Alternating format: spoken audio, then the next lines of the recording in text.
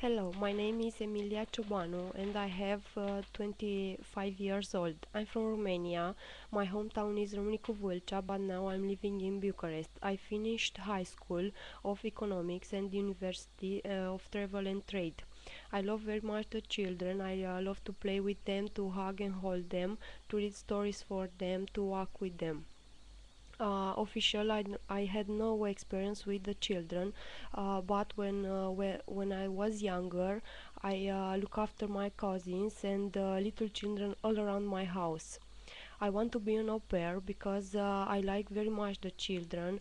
I want to improve my English and know uh, better the culture and uh, people of England. My hobbies are sports.